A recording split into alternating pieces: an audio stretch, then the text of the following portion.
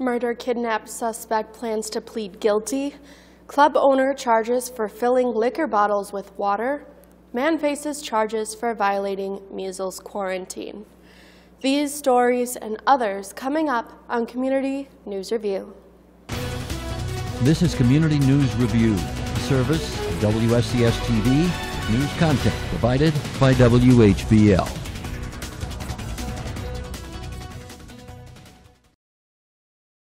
I'm Maddie Pfister, and welcome to Community News Review for Friday, March 8, 2019. Rosemary Trester submitted her resignation as 4th District Alderperson for the City of Sheboygan late last month. The council will vote at their March 18th meeting to determine who will serve out the rest of that term until this seat is up for re-election next year. Mayor Mike Vandersteen says that whoever fills the spot will finish out the year and then would be able to run for another two-year term after that time. If you are interested, you should call the city's clerk office, but need to do that by March 15th. A couple is in trouble over a trip to the gym in spite of a measles quarantine.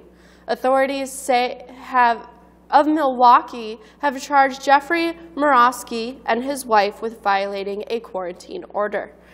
The county health department had ordered 57-year-old Murawski to stay home until he was not contagious. Prosecutors say he and his wife drove him to the Gold's Gym to work out anyway. A criminal complaint says Murawski eventually admitted to going inside of the Gold's Gym to work out, but he stated he was only there for a few minutes, indicating that he felt very guilty and sick to his stomach for deciding to leave his residence. His lawyer said at no time was Mr. Murawski informed that he tested positive for measles, nor did he exhibit any symptoms at the time. He was exposed to measles, but was asymptomatic.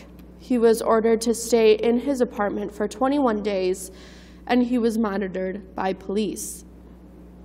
Both he and his wife are due in court on March 25th, and he could get 30 days in jail. A business owner in Eagle River is being accused of refilling liquor bottles with water. Carrie Jo Newman, the owner of Frontier Tavern, is being charged in Vilas County for illegally filling vodka bottles with water.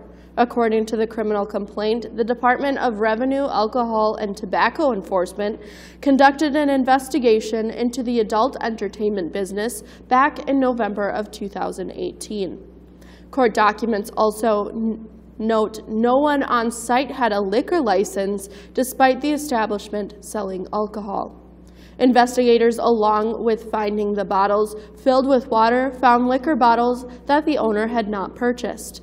Newman told investigators that the bottles filled with water were for employees to drink from. She also said that the other employees or the other bottles were for the employees' personal use. Frontier, Frontier Tavern has been investigated before, and two separate investigations in March of 2015 and February of 2017 gave written warnings to Newman for similar findings. If convicted, Newman could face up to $2,500 in fines and one year in prison. These violations could also result in the suspension or revocation of the retail alcohol license.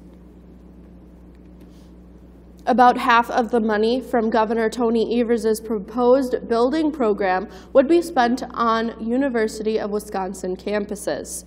The governor's office Thursday said that they want to spend about $1 billion of the $2.4 billion that the governor is asking for on-campus projects.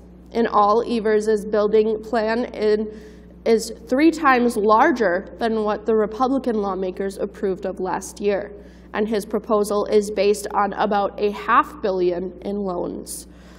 UW system leaders are happy with the plan, but Republican lawmakers say it costs far too much. The plan needs to be reviewed by the GOP-controlled Joint Finance Committee and then be approved by the state legislature. It is likely that the plan will be scaled back considerably. U.S. Senator Ron Johnson says President Trump has the authority to declare a national emergency at the southern border.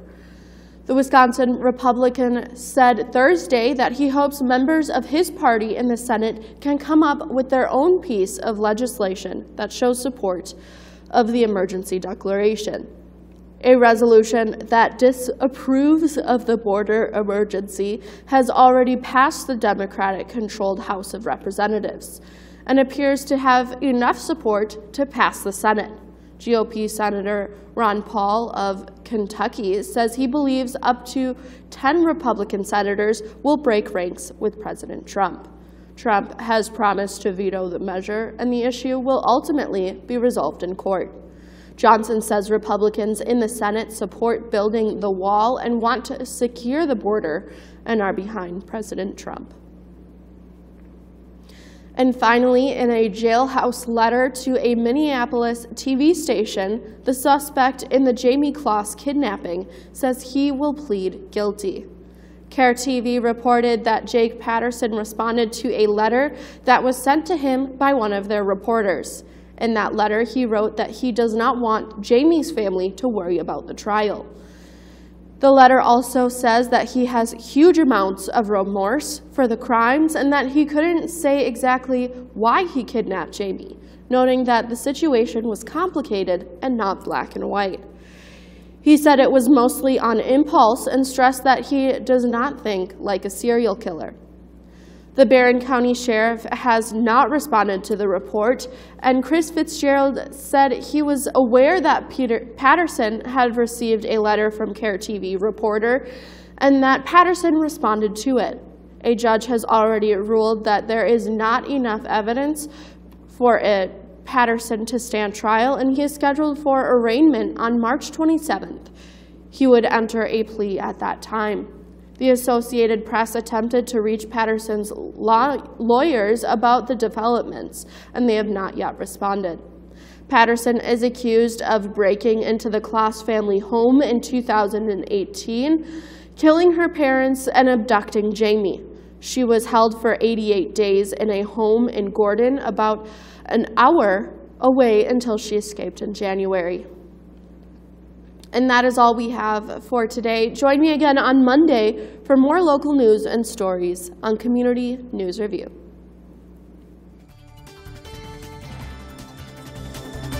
News content for this program provided by WHBL in cooperation with WSCS TV.